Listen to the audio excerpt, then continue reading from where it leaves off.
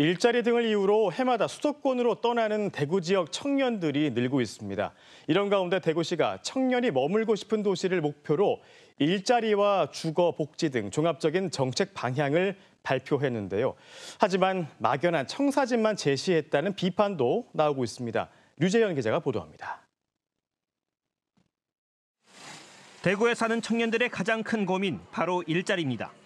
울산 이런 쪽은 아무래도 그런 대기업도 있고 일자리가 많은데 대구엔 그런 게 많이 없기도 하고 아무래도 제가 생각했을 땐 급여 자체도 타 지역보다 좀 적지 않나. 양질의 일자리가 부족하다 보니 지난해에만 8천 명이 넘는 청년들이 수도권으로 순유출됐습니다. 대부분 다 서울로 가는 걸 희망하고 있는 것 같습니다. 일자리 지원이라든지 이런 정책들이 좀 많아져야 할 것 같습니다. 이에 대구시가 청년이 머물고 싶은 도시를 만들겠다며 청년 정책 방향을 발표했습니다. 일자리와 주거, 교육, 복지에 이르기까지 76개 과제에 올해만 1,600억 원을 투입하겠다는 겁니다.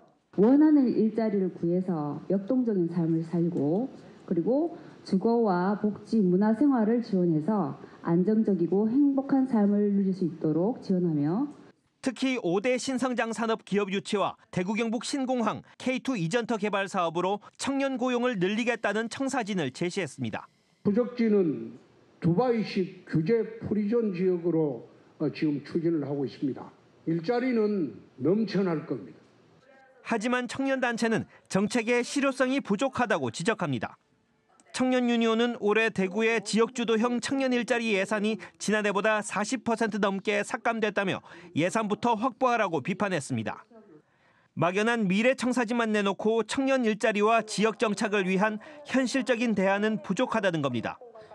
갈수록 심각해지는 청년 유출 현상, 청년들이 체감할 수 있는 특단의 대책이 절실합니다. KBS 뉴스 유재입니다.